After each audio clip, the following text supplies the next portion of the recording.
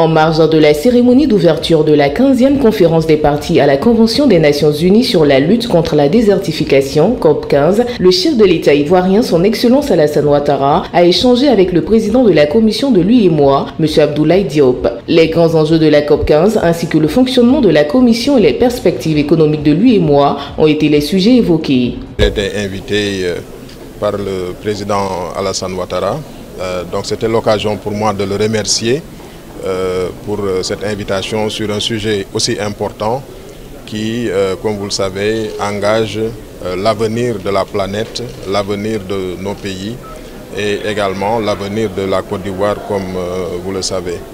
Et dans le cadre de, cette rencontre aussi, ça a été l'occasion, vous savez, qu'il y ait eu la, la, présentation du programme Héritage d'Abidjan, qui est un programme essentiel Hein, aussi bien pour la Côte d'Ivoire que pour euh, la sous-région.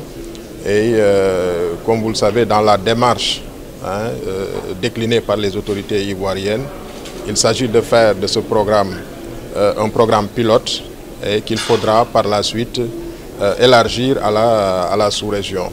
Et cette perspective nous oblige au niveau de la commission de l'UEMOA à prêter une attention toute particulière à ce programme Héritage d'Abidjan et euh, le suivre dans son euh, exécution pour le moment venu, pouvoir assurer un déploiement plus effectif dans les États de la, euh, sous-région.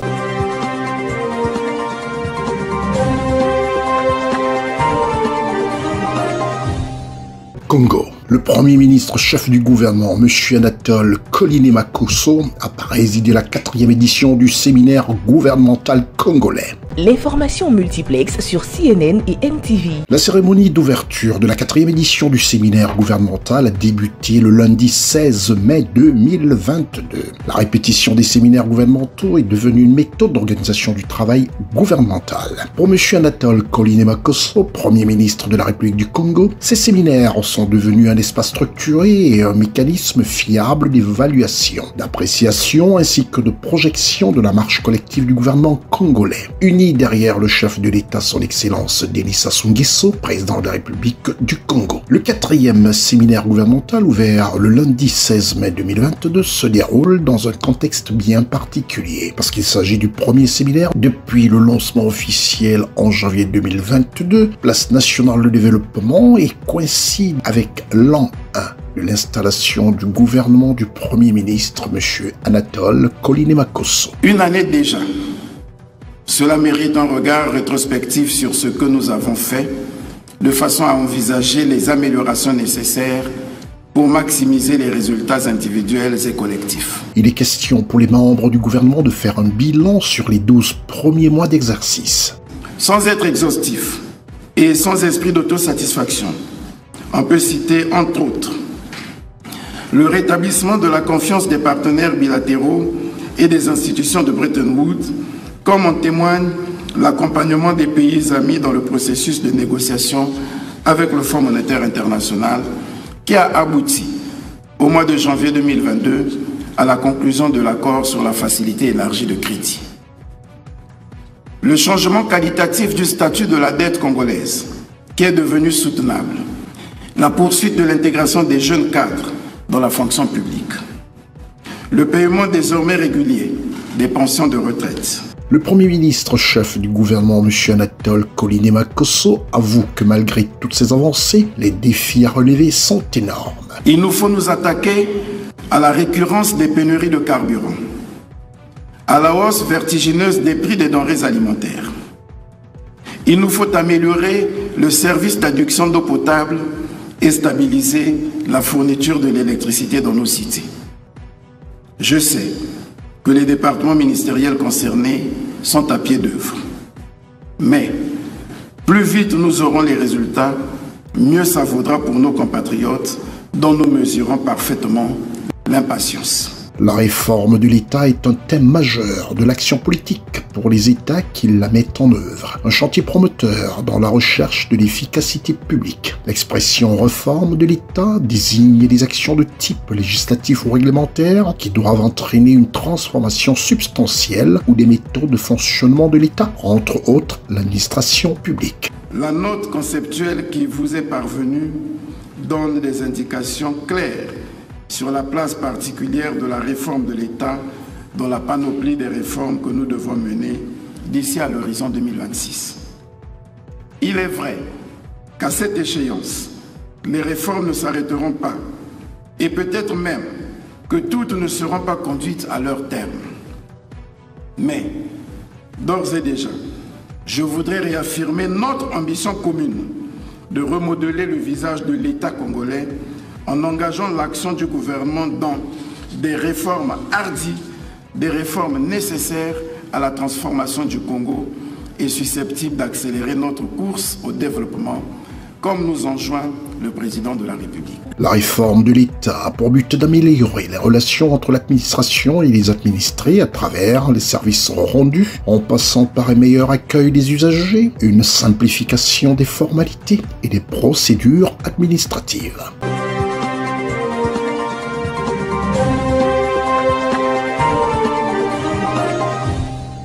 En prélude à la célébration de la 50e édition de la fête de l'unité nationale à venir, s'est ouvert ce 17 mai à la place du gouvernement à Bonanjo les journées portes ouvertes des forces de défense du Cameroun et autres structures assimilées.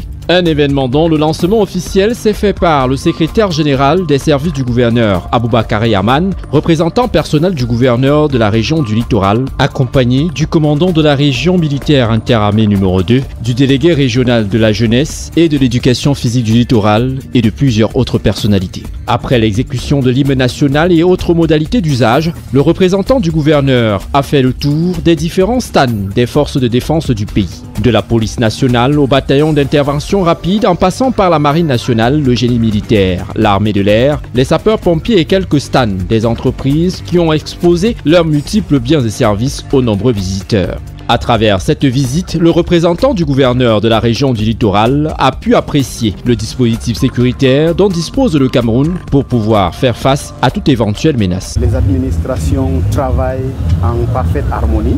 Les forces de maintien de l'ordre sont en train de recevoir des usagers dans les différents stands et ces forces sont en train d'expliquer comment fonctionnent euh, leurs différentes unités pour sécuriser euh, les populations euh, de la ville de Douala en particulier et de la région du littoral en général. Un satisfait pour les visiteurs qui ont manifesté leur joie de se savoir aussi en sécurité dans le pays à travers un dispositif sécuritaire de dernière génération et tout à fait opérationnel. Certains d'entre eux se sont essayés aux simulations d'intervention. C'est une première toute excitante. Je suis plutôt joyeuse en fait. Euh, je découvre ce que ça fait de porter. C'est vrai qu'on a l'habitude de les voir dans les films, c'est dire ouf, ceci je peux ou cela je peux. Mais c'est quand on le porte qu'on comprend que c'est pas aussi facile ou aussi évident que ce qu'on a l'habitude de voir. Pour les forces de sécurité, à travers ces journées portes ouvertes, c'est un moyen de rassurer davantage les populations sur les moyens mis à disposition par l'État afin d'assurer leur sécurité. À l'époque, vous savez, on appelait la grande muette. Aujourd'hui, on essaie un peu d'ouvrir les portes pour que l'usager, la population sache effectivement qu'est-ce que la gendarmerie et les missions de la gendarmerie. Dans le cadre présent, je vais parler particulièrement de la gendarmerie territoriale. La gendarmerie territoriale est là pour, elle est d'abord proche de la population. Et puis, elle est là pour assurer la sécurité, l'ordre public et également la mission principale qui est la police judiciaire. Qu'est-ce qu'on va dire la police judiciaire? C'est la police des enquêtes. Oui. Euh, constater les infractions, rassembler les preuves, euh, interpeller les auteurs et les suspects, les déférer au parquet. Et puis, nous avons encore une autre branche de la gendarmerie qu'on appelle la gendarmerie mobile. C'est la gendarmerie qui assure l'ordre, l'ordre public, l'ordre, quand l'ordre est troublé, c'est la gendarmerie mobile qui assure. la gendarmerie a aussi d'autres branches comme le GEPI, le groupement polyvalent de la gendarmerie, et puis nous avons également euh, plusieurs, les transmissions, etc. Ces journées portes ouvertes qui démarrent à quelques jours de la célébration du 50e anniversaire de la fête de l'unité nationale du 20 mai prochain, après deux années fortement marquées par la pandémie de Covid Covid-19 est l'occasion pour les forces de défense nationale de faire découvrir aux citoyens camerounais leur puissance sécuritaire. C'était donc l'occasion pour les forces de défense et de sécurité de se mettre au service du peuple pour la préservation de la paix sociale et la cohésion nationale qui est l'émergence du Cameroun.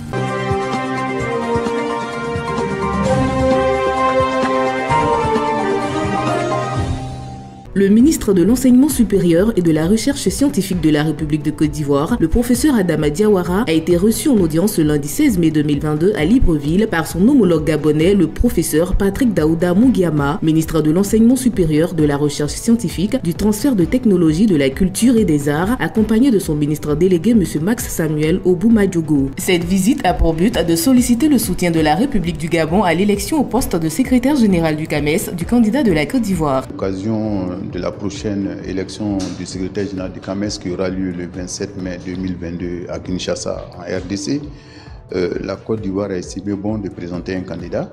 Et depuis lors, euh, nous faisons la tournée euh, des différents pays membres du CAMES pour présenter notre candidat. Donc aujourd'hui, nous sommes venus voir le ministre de l'Enseignement supérieur du Gabon pour lui présenter le candidat de la Côte d'Ivoire en l'occurrence le professeur Konaté Suleiman, qui est professeur titulaire en écologie et membre euh, du CCG du CAMES. Le Gabon est un pays ami, je dirais même un pays frère, euh, sur lequel nous pouvons compter euh, sans aucun doute pour son soutien lors de l'élection à venir.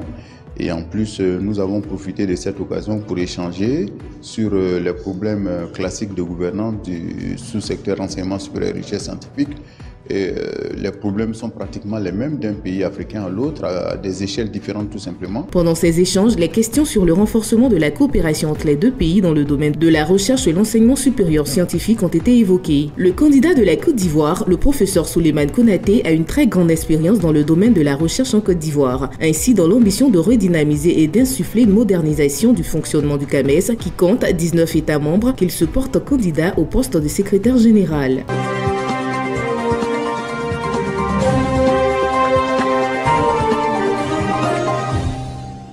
Trois ans après avoir été ravagée par les flammes, la Sonara veut renaître de ses centres. C'est donc à juste titre que le comité interministériel consacré à la restructuration de la Société nationale de raffinage du Cameroun s'est réuni ce 12 mai à Yaoundé autour du ministre des Finances, Louis Paul Motaz. Il était question lors de ce moment de travail de jeter les fondations de la mise en œuvre du plan de restructuration proposé par le comité de réhabilitation des entreprises publiques et parapubliques tel qu'instruit par le chef de l'État. Selon les instructions du président de la République, la mise en œuvre de la réhabilitation de la reconstruction de la Sonara s'inscrira dans le cadre d'un partenariat public-privé en tenant compte d'un ensemble de modalités, notamment le cadre juridique, le cadre institutionnel et les modalités de financement. Le chef de l'État a donné de très hautes instructions au MINFI et à nous-mêmes pour la réhabilitation de la Sonara qui, comme vous le savez, a été victime d'un incendie majeur le 31 mai 2019 euh, et dont les unités de production sont à l'arrêt.